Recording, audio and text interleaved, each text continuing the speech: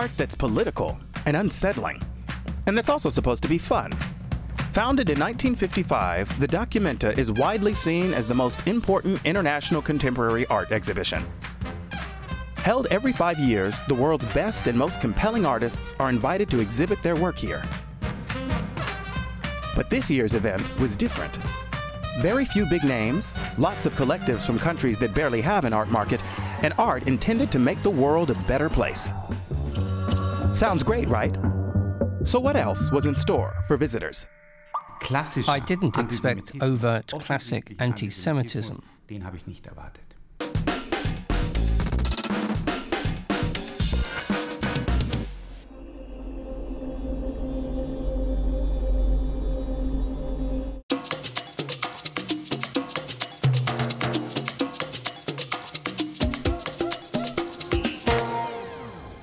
These are the masterminds of Documenta 15.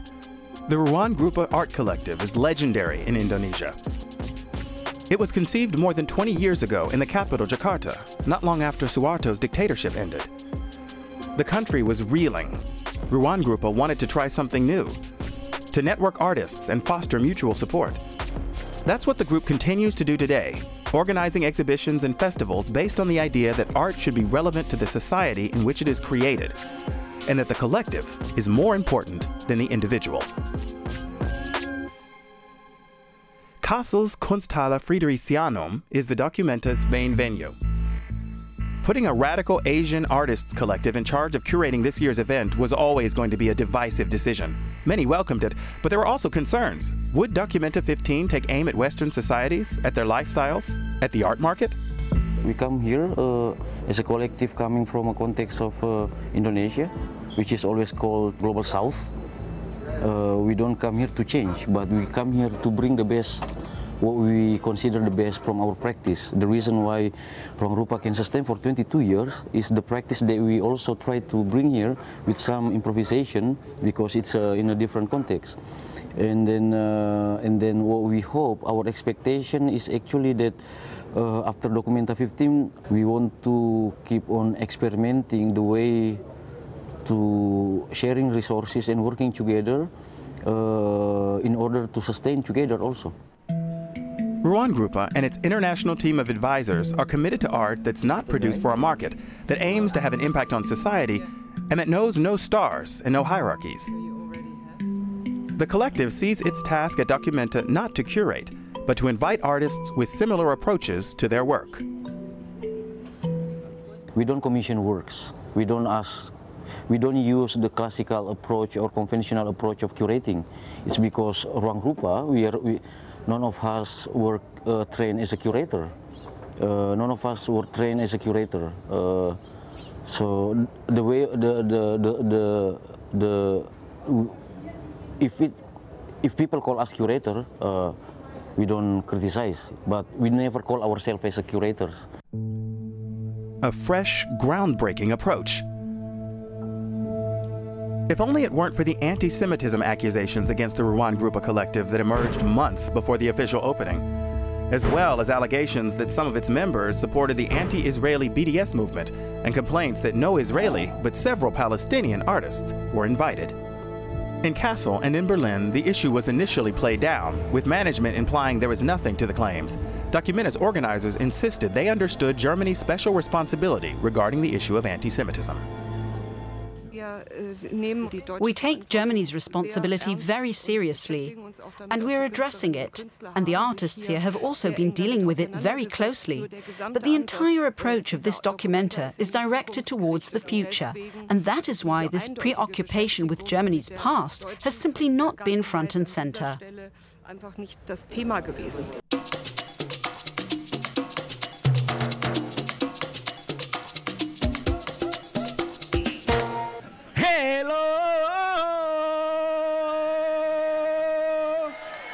The opening in June 2022 was a major event.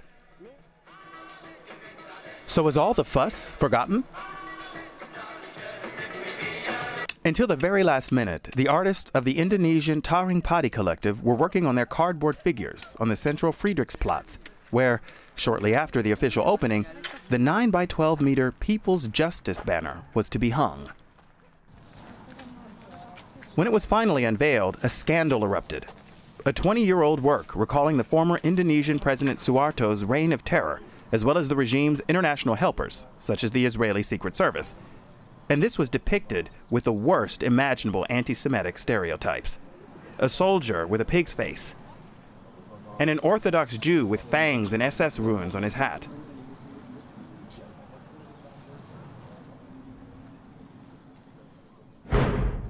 There was an outcry.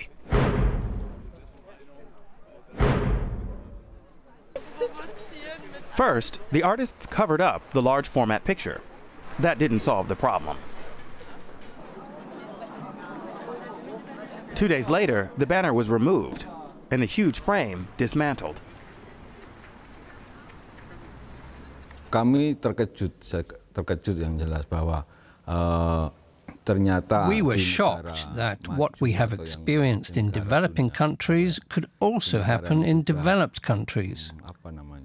It means that there is no difference in how people look at a work of art. When there is a sensitive issue, there is no dialogue or anything else. The artwork is simply dismantled.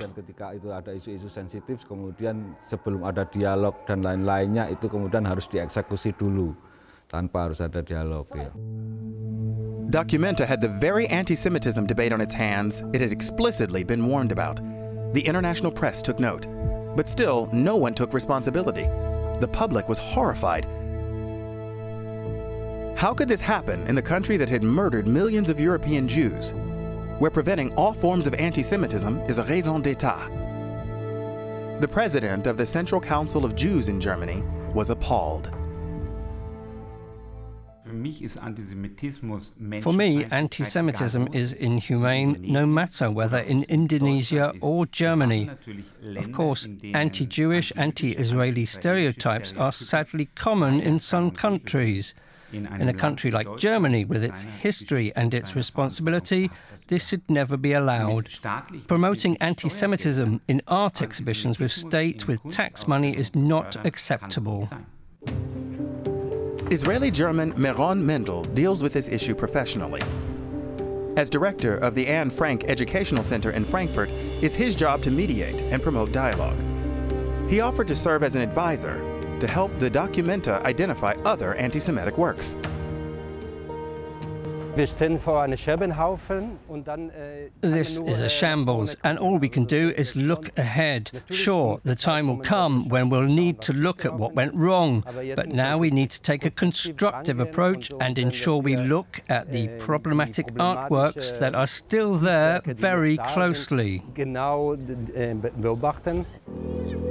But that's precisely what, for weeks, no one seemed interested in doing. The Documenta's board went missing in action even when more works were deemed to be anti Semitic.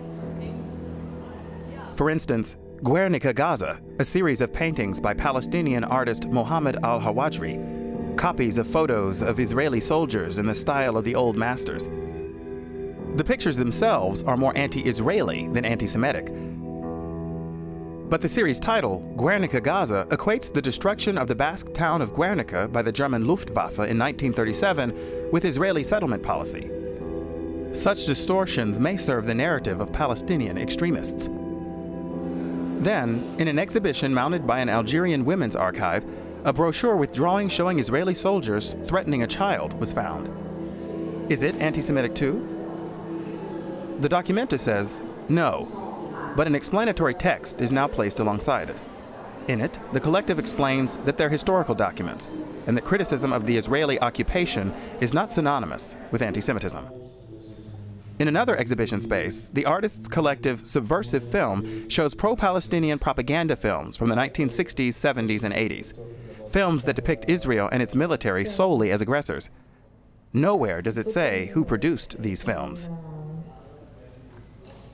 Vor fünf Jahren hätte man es überhaupt nicht vorstellen können, dass so etwas. Five years ago, you couldn't even have äh, imagined something like this. Now, though, you hear such things more and more often, and I think it's very important that society, politicians, the media, and culture itself put up some resistance. Imagine the Documenta is still today giving voice to Palestinian terrorists on a loop in a country marking the 50th anniversary of the Munich Olympics massacre. In no way can I accept letting Palestinian terrorists speak.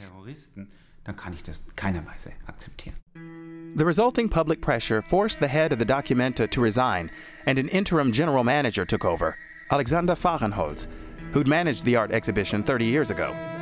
But he too didn't want to take down or remove anything, preferring to leave the decision about what was anti Semitic to a newly formed advisory board.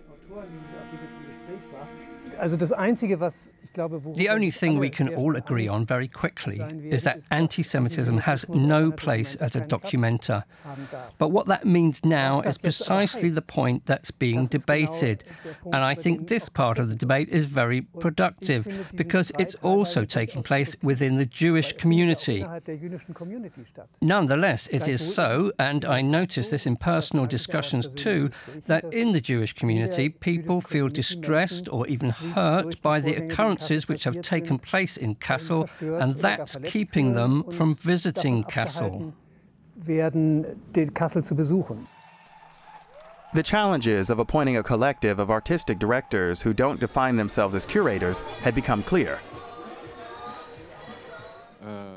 Ade Darmawan publicly apologized in the name of Ruangrupa, yet didn't accept responsibility.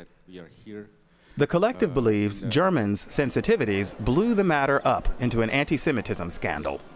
The artists from the collective Taring Padi fear for their reputation. They're still being criticized in the media, on Twitter, and elsewhere. Ada, ada pembicaraan tentang diskusi tentang antisemitis. In the Indonesian cultural scene, the issue of anti-Semitism is rarely mentioned. So we don't know in detail exactly what the issue is, or if there is a specific law in Germany about this. Because we are Indonesians, we don't know in detail what the issue is. What we're alluding to is state violence. We can say unequivocally that Taring Padi is not anti Semitic. Taring Padi is always open to diversity because that is a human right. And it's exactly what the members of Taring Padi have been fighting for over the past two decades. Human rights, the recognition of religious and ethnic minorities, more democracy and freedom of expression, and against racism. They see themselves as artists, but also as activists. They feel the accusations of anti Semitism are an attack on their whole identity.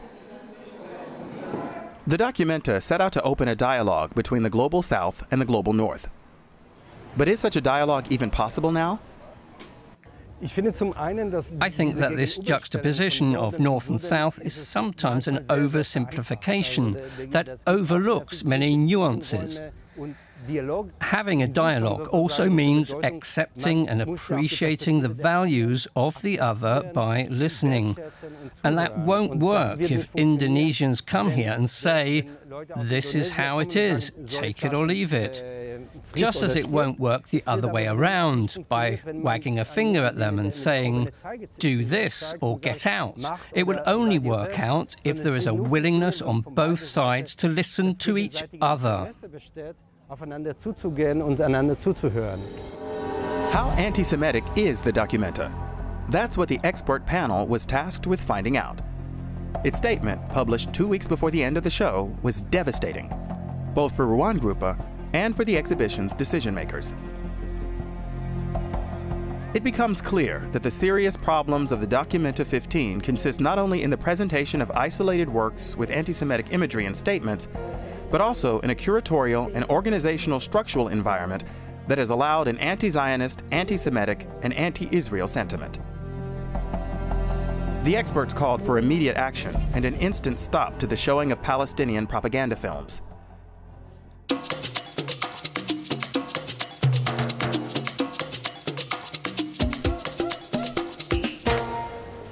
The debate made it look like most of the works on display are anti Semitic. As a result, many artists feel they have wrongly been cast under a cloud of suspicion. There are said to be around 1,500 artists and activists at the Documenta. But there might be even more than that, since the artists and collectives invited, in turn, invited others.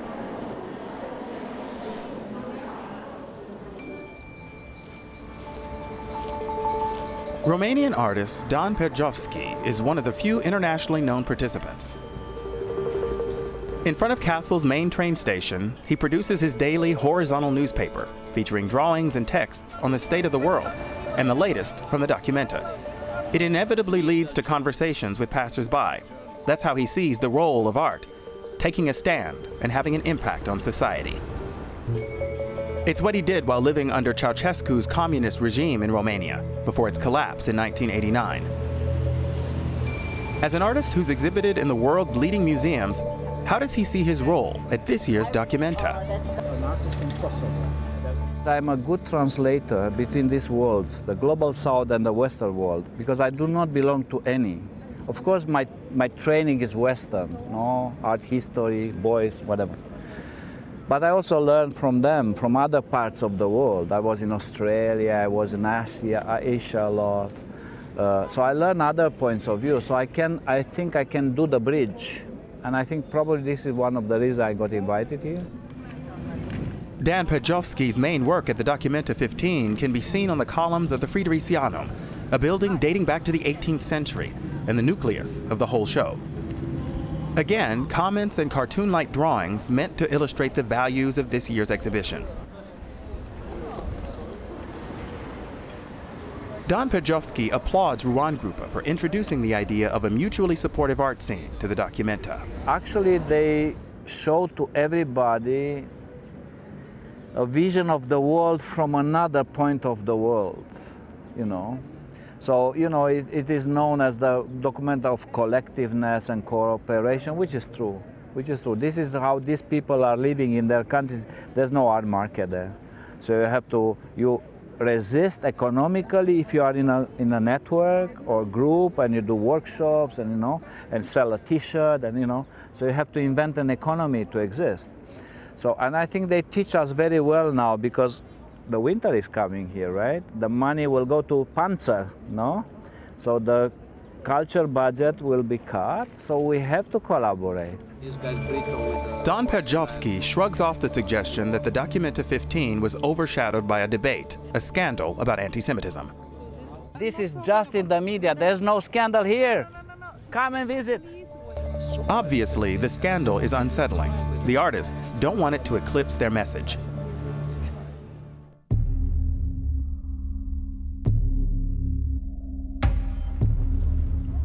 Only a few meters from the Fridericianum, a tunnel leads to the exhibition of the Kenyan collective Wajukuu Art Project. The work is displayed in a room modeled on a corrugated iron hut.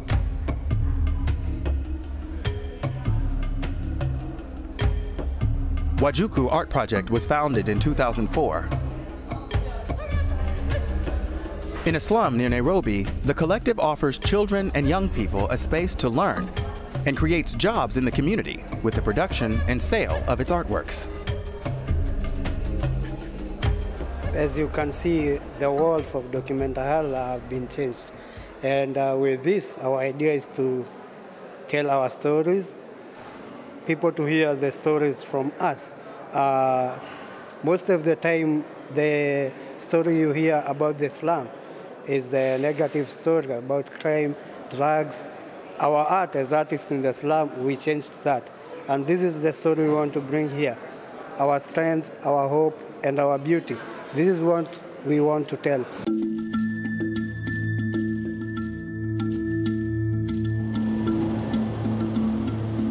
To meet with Russian artist Victoria Lomasko, we have to cross town. The residential area of Bettenhausen is not necessarily where you would expect to find art. The Catholic Church of St. Kunigundis has stood empty for years. During the Documenta 15, it hosts macabre-looking multimedia sculptures by the Haitian collective Artistes Resistance, representing Christian figures of saints, some with human skulls that evoke voodoo rituals. Victoria Lomasko wanted to meet us here because she's fascinated by these figures. In the churchyard, she shows us the works she made during the Documenta 15. Lomasko refers to herself as a graphic journalist, and in Russia, her drawings have always been critical of Putin's politics. She fled her home at the beginning of the Ukraine war. In Kassel, she calls herself a harvester, recording her observations and conversations. My goal is not uh, to find uh, something uh, provocative as an ordinary journalist, but uh, to think uh, how to support each other and how to share our experience. And um, it's a big challenge for me uh, to talk in English uh, with uh, artists uh, from Indonesian, from many Arabic countries, from African countries. At this moment, uh, I uh, know that, I really can't tell the story. Uh, of course, she also asked questions about the anti Semitism debate in her talks with fellow artists. understand the situation. I, when uh, I tried to ask someone, uh, any, anyone uh, answer something like this, you know, we don't want uh, problems. We realize it's absolutely taboo in Germany. So just they themselves uh, speak about this. Many of the artists she has met with come from a different cultural background and offer a different take on the debate. Her own story, her fear of reprisals or even arrest, has not been a theme of her work here. But it might be once the documenta is over.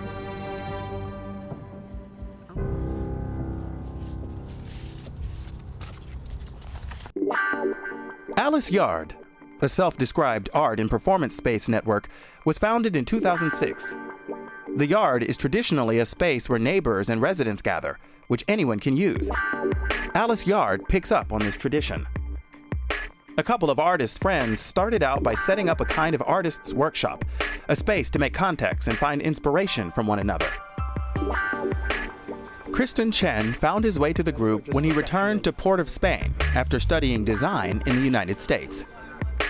For me, though, as a person who has a practice, you know, was in search of a space, um, it kind of arrived and became, you know, something that I don't know if I chose, but it was present and it was something that I had access to um, and allowed me to also be able to have conversations and, and work with um, other artists that I did not know when I when I moved back home after my education.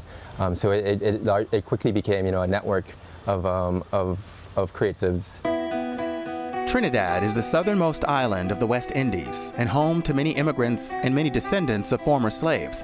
So colonialism and its effects have always been a major topic. Making art here is a challenge.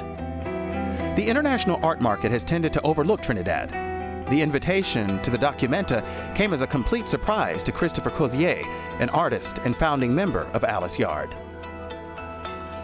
You know, when I was an art student as a young person in the US, you know, Documenta was something that sort of grim, um, you know, sort of white males with grumpy faces did somewhere in the world, you know, and as a brown body, I could at best be an eloquent voyeur, but not actually participate in this conversation. The Alice Yard artists exhibit their works, appropriately enough, in a yard behind a bar in Kassel. And they've invited artists from their network to join them here. One is performance artist Luis Vasquez Laroche, who's brought to Germany traditions from the Caribbean carnivals that are deeply rooted in Trinidad's own colonial history. The crack of the whip here serves to parody the cruel slave driver. The Documenta is not so much the place to enhance one's market value as to exchange ideas with other artists by interpreting themes close to their hearts and minds. That's what the Alice Yard artists are enjoying most why waste your life, you know, trying to be part of something that is already designed to exclude you, um, you know, historically or currently, whether it's economics or, or, or, history. So I said, okay, well, we are doing this little thing here in Port of Spain, and we are fascinated to know that there are other people doing little things elsewhere, and the thing becomes a big thing when we kind of start talking to each other and sharing ideas. And that's really been fascinating.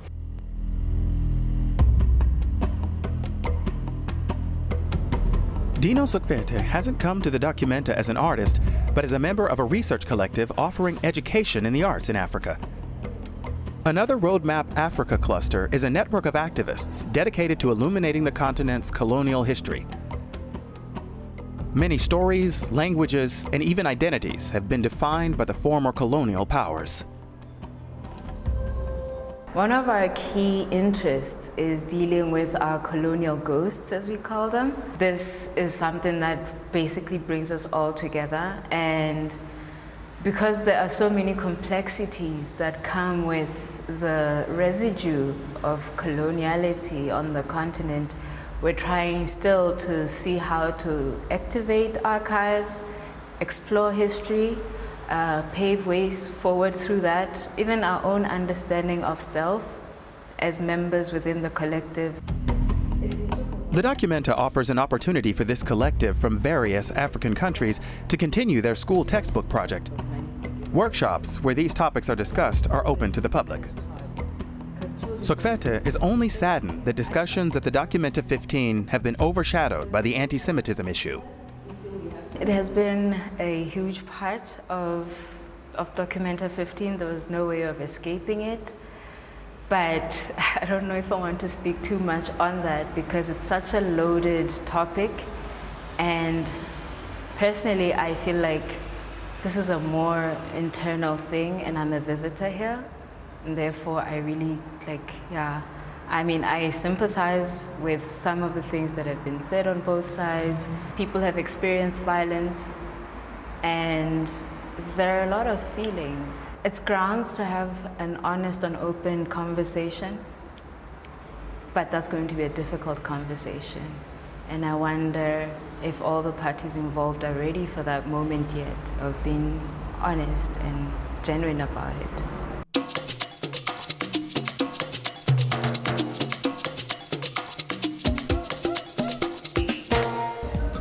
With artists from many parts of the world that are rarely represented in the art world, the Documenta 15 brings together political art and traditional art, art by ethnic groups that might never hang in a museum.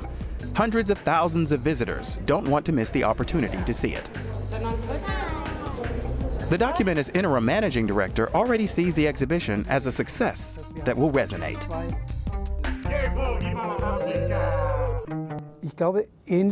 I don't think there have been many such milestones in the Documenta's history. A milestone? Ruangrupa's approach may indeed resonate in the long term. Their efforts to network artists and support local communities could meet with some success or even eventually change concepts of art. But in their task as curators, they undoubtedly failed. Either overlooking blatant anti Semitism or redefining it as artistic freedom is reckless at best. In an open letter, Ruangrupa, along with other Documenta artists, rejected the experts' criticism. We are angry, we are sad, we are tired, we are united. The Documenta began with a good idea, but ended in irreconcilable differences. The dialogue between the Global South and the Global North that was supposed to take place barely got started and as an institution, it's been seriously damaged. Some critics are even wondering if Germany's most renowned art exhibition can survive. It needs a reboot for sure, with a new team that takes the curator's task seriously, and will have to prove that the message that shook the art world to its core has been received and understood. Does the Documenta need a reboot? What do you think?